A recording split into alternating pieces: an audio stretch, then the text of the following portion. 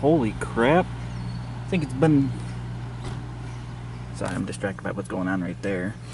I think it's been a long time since we've seen a daylight train on the St. Lawrence sub.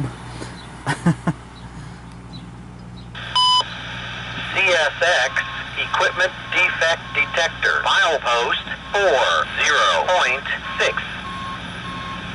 No defects. No defects.